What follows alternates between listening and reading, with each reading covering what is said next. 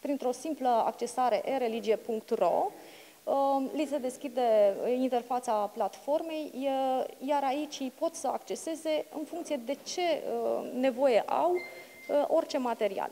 Reprezentanții Arhiepiscopiei Craiovei consideră că platforma de religie e-learning lansată astăzi este un instrument util care vine în sprijinul atât al profesorilor cât și al elevilor în această perioadă. Prin intermediul platformei este promovată colaborarea și schimbul de experiență între profesori pentru a face ca ora de religie să fie adaptată nevoilor elevilor. Toată această stare de alertă și starea de necesitate uh, face ca elevul să nu poată să mai ajungă de multe ori la școală.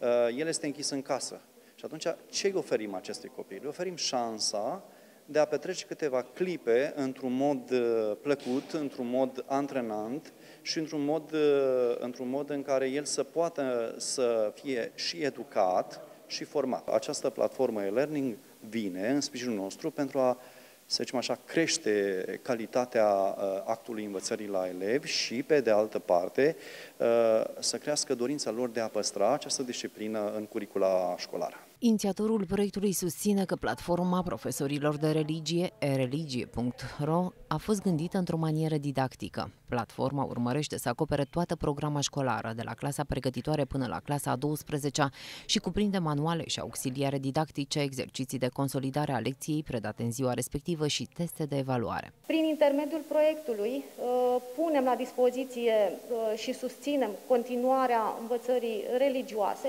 și creșterea calității actului religios educativ, atât prin conceperea uh, resurselor educaționale deschise, folosite atât în mediul online cât și offline, cât și prin crearea unei uh, platforme care să cuprindă, care să dețină aceste materiale uh, educaționale deschise. Ideea acestei platforme ne-a determinat să angrenăm în, în activitate și profesorii.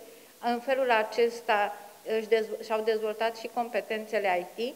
Pe de altă parte, este și dovada muncii profesorilor de religie, care, iată, constituie o categorie importantă în cadrul activității din învățământul preuniversitar.